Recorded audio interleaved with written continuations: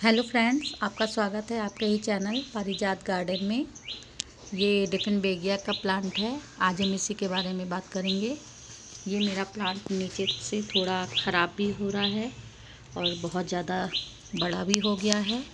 इसकी आज हम कटिंग करेंगे और कटिंग से कैसे लगा सकते हैं, इसके बारे में हम बात करेंगे।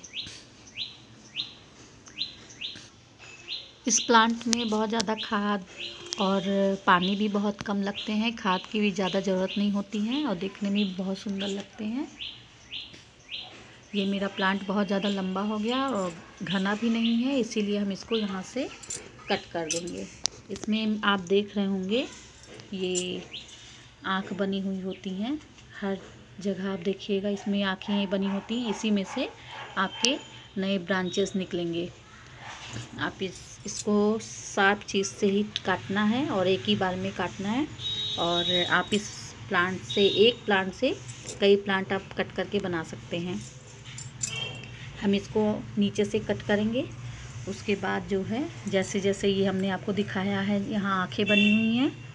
इसमें से भी नए ग्रोथ निकलते हैं। इसको भी हम ऐसा कट करेंगे कि उसमें ये आँखें रहें।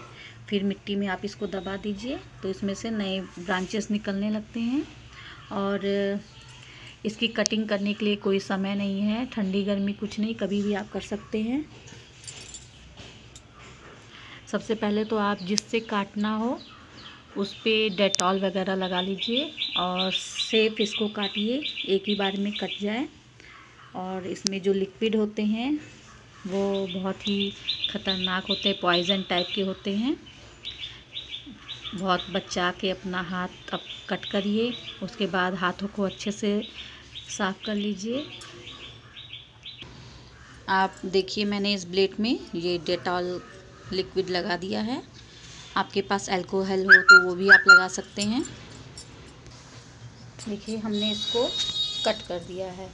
और जैसे कि हमने बताया था, इसमें आँखें बनी होती हैं। इसको भी हमने ऐसे काट लिया है।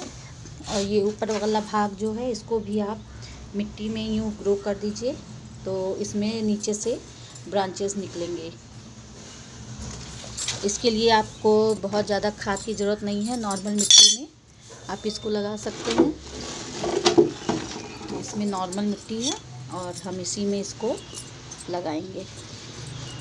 और लगाने के बाद इसको डायरेक्ट सनलाइट में नहीं रखना है। थोड़ी छाँव वाली जगह पे आप इसको रखिए। उसके आठ दस दिन के बाद आप इसको कहीं भी रख सकते हैं।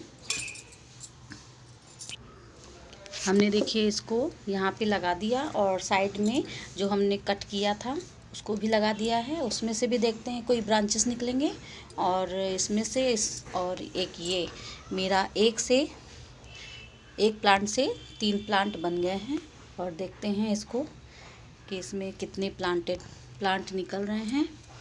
आप भी ऐसे एक प्लांट से कई प्लांट बना सकते हैं और इसमें बहुत ज़्यादा पानी की ज़रूरत भी नहीं है। बस लगाने के बाद आप इसमें अच्छे से पानी डाल दीजिए। उसके बाद आप छाए वाली जगह पे रखिए इसको। डायरेक्ट सनलाइट नहीं होना चाहिए। इसमें आठ दस दिन हो जाए, उसके बाद आप इसको सनलाइट में रखिए। और ये बहुत ही आसानी से लग जाते हैं। कोई दिक्कत वाली बात नहीं है इसमें।